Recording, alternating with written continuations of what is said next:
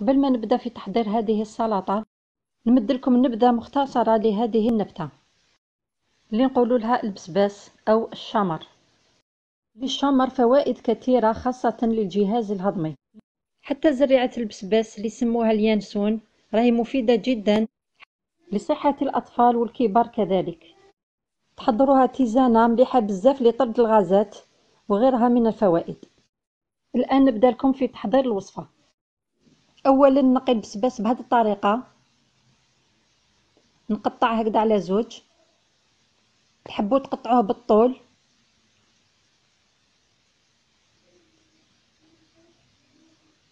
هكذا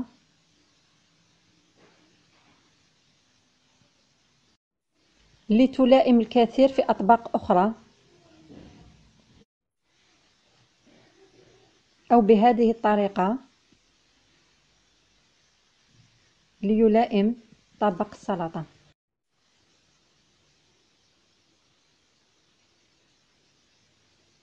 راكم تشوفوا كيفاش قطعتها؟ هنا الاختيار لكم تقدروا تصغروا أكثر.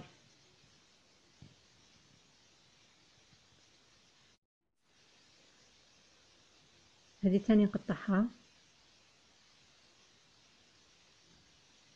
باه يجيو تقريبا نفس الحجم.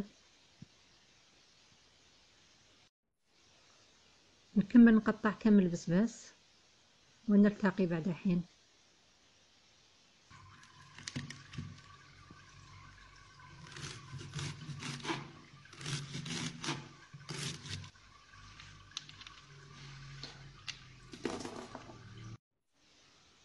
نحط البسباس في الكاسرونة ونحط عليه الماء ما نكثروش الماء.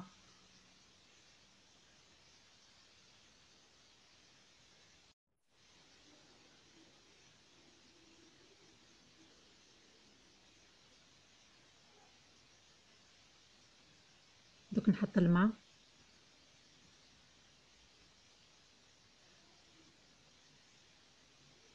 هذا يكفي. ونحط الكسرونة على النار.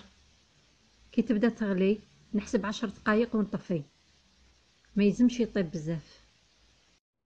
فرغته في الكسكس باش يقطر مليح ونخليه يبرد.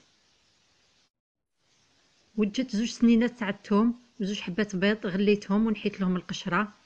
البيض هنا للتزيين اختياري. تقدروا تزيدوا حبيبة زيتون.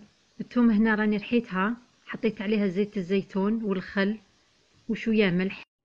القليل من فلفل الكحل. ومغرفة صغيرة خردل اختياري. نخلط كل المكونات مليح.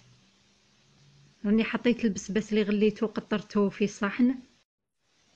ونزيد الخليط اللي وجدته. هكذا ونخلط مليح.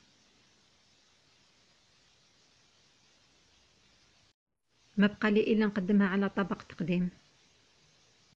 السلطه راهي جاهزة. نتمنى تكون عجبتكم الوصفة. زدت زينتها بهذه الطريقة بالبيض يعني بيض مغلي. وإلى الملتقى.